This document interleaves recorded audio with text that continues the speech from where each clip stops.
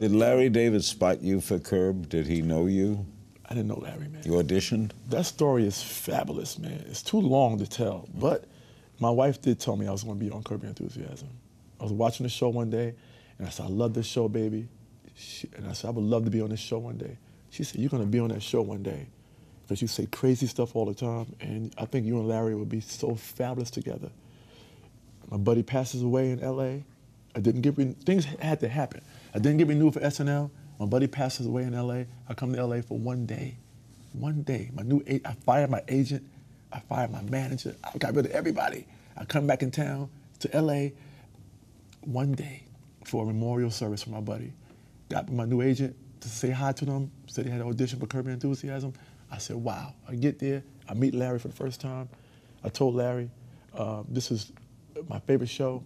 We kicked it. We at the audition, we hit it off from the get-go. And I left there. My agent calls me. I said, anybody else gets that show besides me? God bless them. But we had a good time. And lo and behold, lo and behold, Watch new episodes of Larry King Now Monday, Wednesday, and Friday on demand on Ora TV and Hulu.